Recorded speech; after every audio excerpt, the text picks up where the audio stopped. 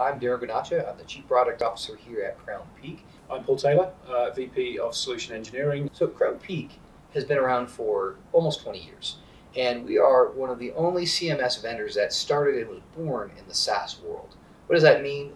The ability to actually manage all of your web experiences, privacy experiences, and really the quality of those experiences, all without ever having to do with upgrading your life. So, back in 2001, uh, we realized that marketing teams and, and IT teams didn't want to own all this hardware. We thought that by making this simple, that anyone can do this and really build and deploy these solutions, we can actually accelerate how quickly people get to market. And, and over the years, we have been working with some of the biggest brands on the planet to really allow them to do that. And I think, again, with this uncertainty around where the market's going, especially when you introduce the Internet of Things, having something that just allows you to deliver dynamic content into those experiences, regardless of the channel, is giving development teams and ultimately marketers the flexibility they need to embrace this challenge. We can't, as marketers, just choose to deliver a digital experience via web or via mobile. We really have to consider how is a customer or a consumer going to use this content and what channel does it make most sense to them. But either way, I'm communicating with that single brand. And you need to be able to deliver content in a headless way in order to surface the same content from one platform into all of those different experiences in a consistent manner, which as a consumer makes me loyal to that brand even more. I was asking earlier about why we got here and this idea that you know maybe this was a part of the frustration that developers had with some of their legacy systems.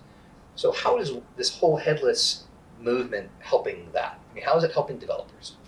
I think it's giving them the flexibility back. You used to have um, platforms that were quite structured and quite rigid, and when you were trying to deliver content across those, um, it wasn't giving the developers the flexibility that they needed. So I think the movement of delivering content in a headless way gives that flexibility back to the developer. They're now free to choose how they want their content to be presented and via which channel they then want to be able to deliver that. All right, that sounds good. Is there a downside to that? Are we giving up anything? The downside, of course, is when everything is delivered headlessly, everything becomes a software development lifecycle task.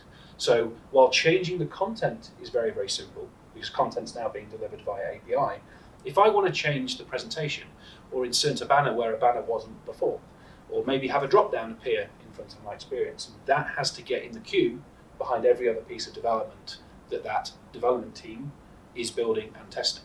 And of course, the marketers can't wait for that to be finished. They have to react multiple times a day to, to changing market conditions. And so this backlog gets longer and longer and longer, which ultimately impacts on their ability to communicate with their customers.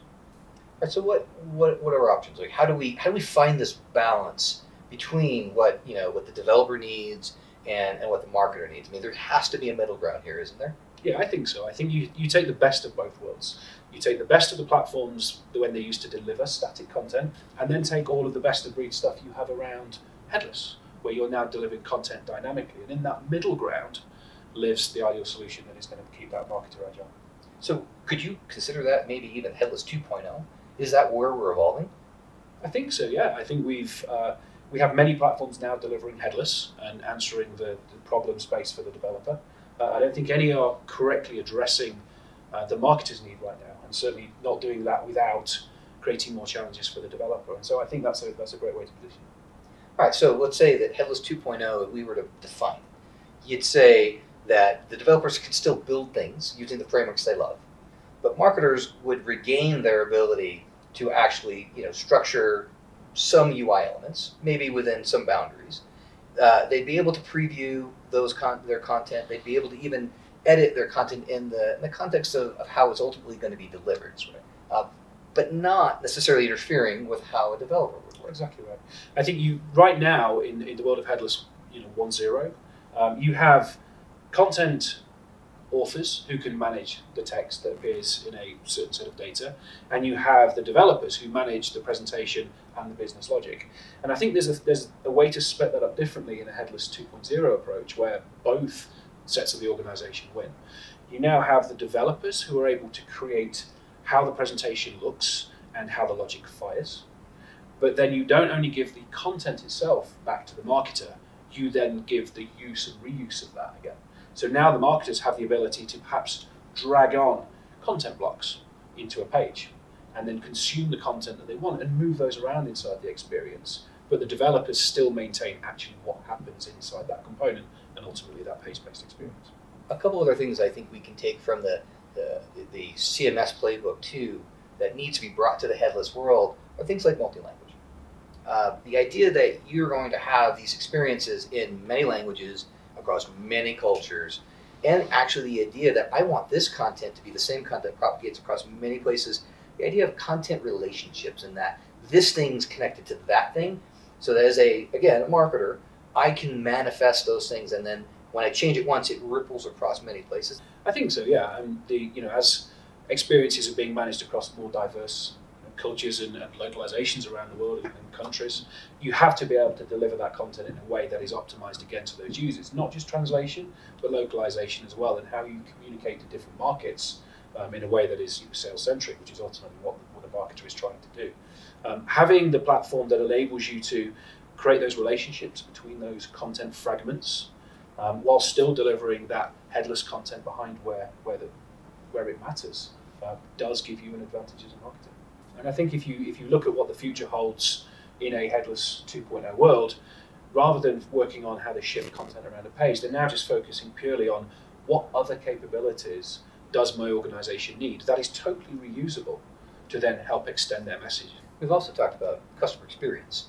Part of customer experience is this idea of optimizing, testing, learning, personalization. You know, how does all of that technology fit into this headless world? I think if you look at how we deliver content in a headless 2.0 world. And again, maintaining that flexibility for your authors to deliver content and your developers to deliver functionality, that then gives us a greater ability to consume content from other third party services. So, personalization services, CDP platforms, commerce tools, delivering that content asynchronously um, at the edge uh, via data driven services that have been configured by the development team means that the marketers are going to be able to deliver those experiences. More importantly, they're going to be able to preview and uh, have version control and all of that as those experiences, but we'll also then to be able to consume that content uh, as well as those experiences are delivered to the end customer.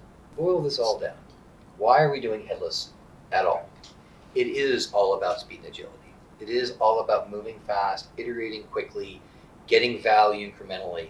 And, and that is what we have to solve for at the end of the day. And I think Headless 2.0 gets us there even faster. But Headless 1.0 is really why we started that in the first place.